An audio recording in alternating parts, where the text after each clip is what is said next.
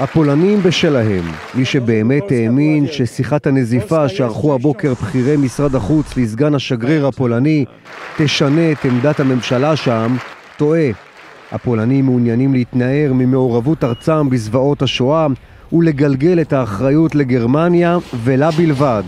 ראש ממשלת פולין צייץ היום בטוויטר ששתי המדינות, פולין וישראל, פרסמו כבר ב-2016 הצהרה משותפת שבה התנגדו לכל ניסיון לעוות את ההיסטוריה. The intent of the law by no means is, is, is not to, to, to, to, to, to whitewash um, the history, it is to, to safeguard. Uh, to safeguard it, to safeguard the, the truth about the, about the Holocaust and to prevent its um, distortion. אין לנו שום סובלנות לסילוף האמת, לשכתוב ההיסטוריה או להכחשת השואה. לא נקבל בשום פנים ואופן.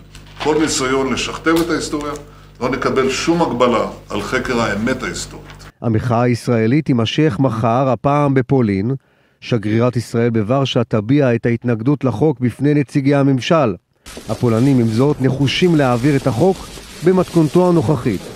גם הביקורת הישראלית על התזמון האומלל של ההחלטה ערב יום השואה הבינלאומי לא גרמה לפולנים להתנצל. פולנים הוכיחו שהם כנראה מכחישים את השואה כי הם לא רוצים לזכור את זכרה.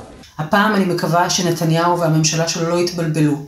קודם כל יחזירו את השגרירה שלנו עד שממשלת פולין תעשה משהו בעניין הזה, וגם תפסיק לשלוח תלמידות ותלמידים למדינה שפשוט מתכחשת לאחריות שלה ולהשתתפות שלה בשואה של העם שלנו.